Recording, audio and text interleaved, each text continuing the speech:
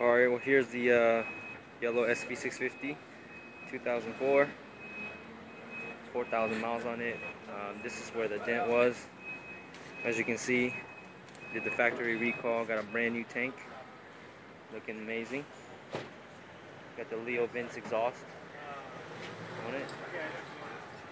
Got current tags for September 2011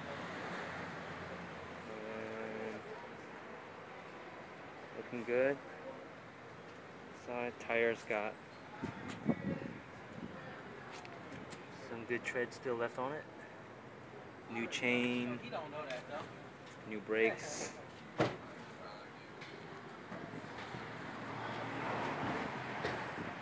Got it.